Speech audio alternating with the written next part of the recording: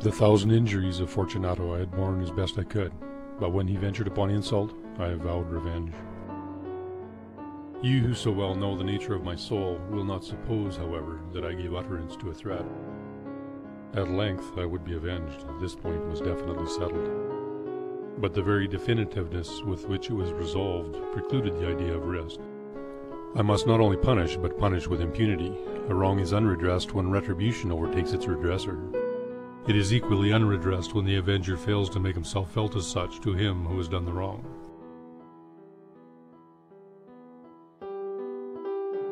And as such were my thoughts as I met with Fortunato, and persuaded him to come with me to his own bitter demise.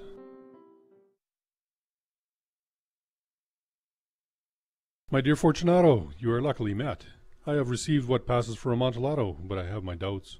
How? Amontillado? In the middle of a carnival at that.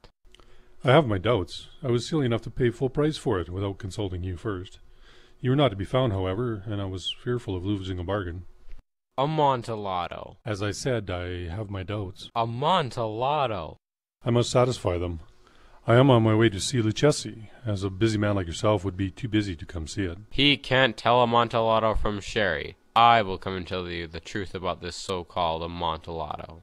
I could not impose on your good nature. I perceive you have an engagement. I have none. Come.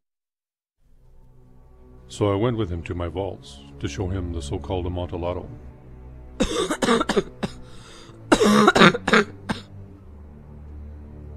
How long have you had that cough? Is nothing. Come, we will go back. I can easily get Luchesi to help me. No, I shall not die of a cough. I suppose not. So I led him further into the vaults, until we got to where I was sure I could dispose of him.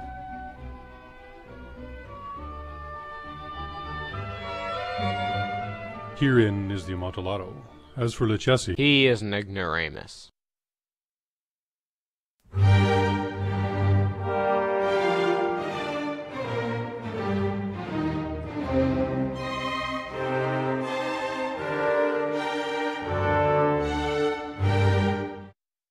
And so I built up the wall, brick by brick, securing them, happy in his terror.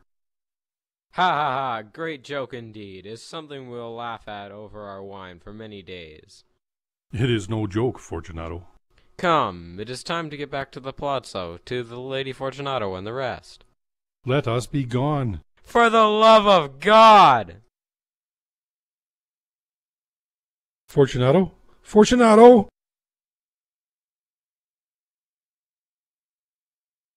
This man is guilty.